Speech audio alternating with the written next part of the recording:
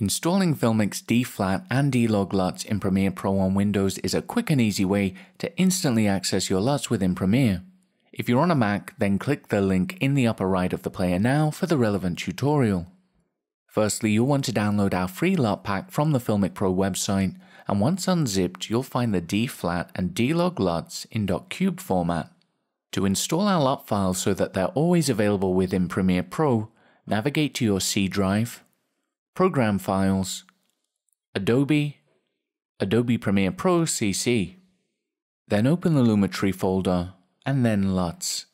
As our LUTs conform your flat and log video to a Rec 709 color space, I like to place them in the technical folder which will make them accessible from the basic correction panel in Lumetri. So double click to open it and simply drag and drop your LUT files into this folder. Next launch Premiere Pro. Now it's as simple as selecting your flat or log video in a sequence. Then open the color workspace and this will instantly apply Lumetri to a clip.